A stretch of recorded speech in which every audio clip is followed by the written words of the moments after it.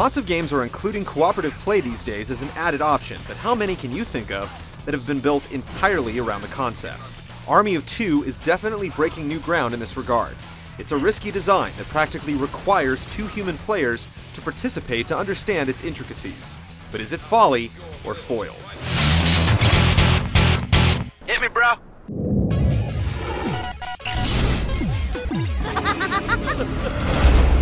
This is combat. You can die in combat. Rios and Salem are two military lifers, but living off government checks isn't nearly as lucrative as becoming guns for hire, taking down some of the world's most dangerous inhabitants. Look who it is! Julie American! Thus begins a semi connected jaunt around the globe, with the pair following the money with considerable firepower. It's about as typical and forgetful as plots in video games get. Yet the constant banter between the two draws on pop culture references and camaraderie, helping the modern day player connect with them in ways they never could with a grizzled Spec Ops captain.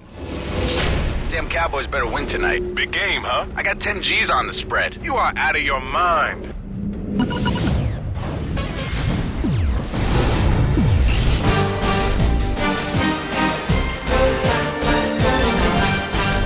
If you're looking for your next single player third person shooter fix, Army of Two is really not it. There is a campaign that you can play through solo, but it only serves to reinforce how much better the game is when played with a friend. And there are several ways to do that. You can go split screen and play locally, or head into Xbox Live and go at it remotely. Either way, this is where you'll realize how the game really works. Whether you're playing by yourself or with friends, the campaign doesn't last long though. One solid day of playing will easily polish it off. This is where the 2 on 2 multiplayer modes come into play.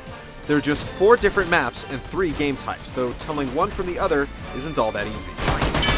Whether you're playing Assassination, Extraction, or War Zones, you're given objectives that you have to complete, like rescuing injured innocents or taking out specific targets. Completing each objective awards you with cash, and the team with the biggest bankroll wins. In addition to all the cooperative elements making the crossover, there are also neutral soldiers to contend with, the ability to buy new weapons mid match, and vehicles to commandeer.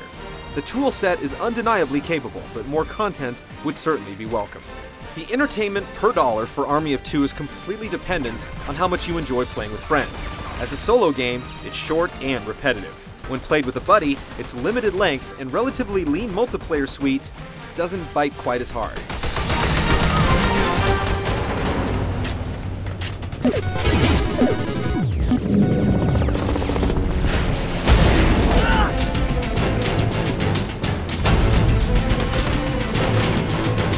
First glance, it's easy to peg Army of Two as another Gears of War clone with a cover system and instant kills.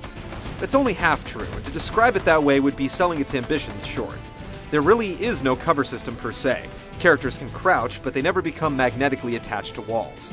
This won't stop you from blind firing, but it does prevent those awkward moments where you're feverishly trying to avoid incoming fire but end up glued to a vertical surface.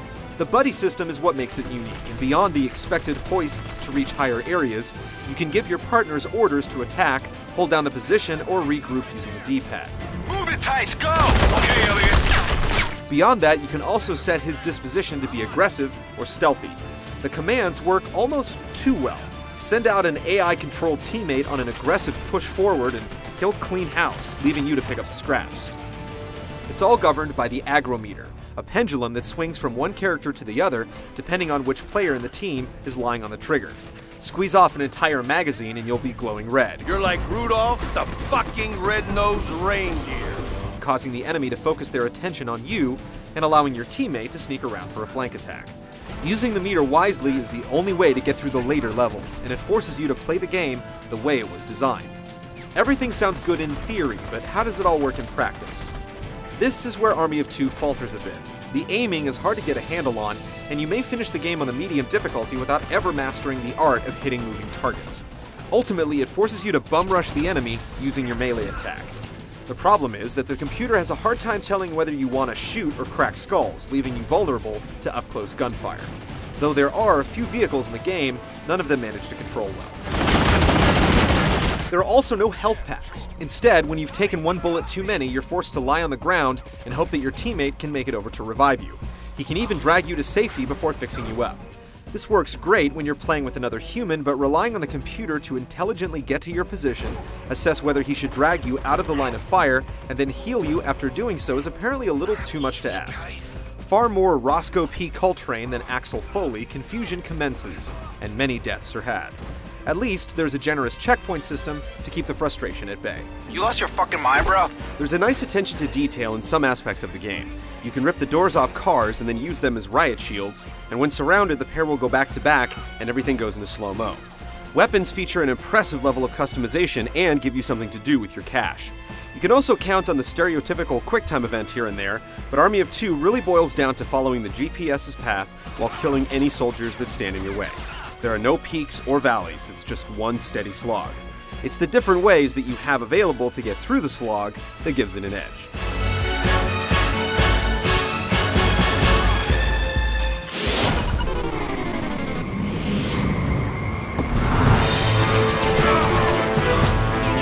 Yet another game built on the Unreal Engine 3, Army of Two has that distinctive look where everything metal looks great. The character models for Rios and Salem are the visual highlight, especially as you gear them up with custom items. The rest of the visuals could use a little work. The environments can look barren, the textures are bland, and the enemies are repetitive. Pre rendered cinemas keep the paper thin plot moving forward. The voice work is great, and the little quips the two soldiers share during breaks in the action are clever. Props, bro. You'll never know what you'll hear from them, and it does a lot to personalize characters in a genre where personality isn't normally a hallmark. Let's just stay out of each other's hair and get this thing done. No problem, fucko. Fucko. Who says that?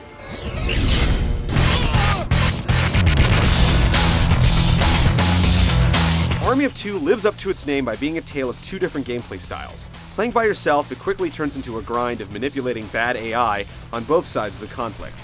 When played with a friend, online or off, its design begins to make sense, and upgrading weapons can become an unhealthy addiction.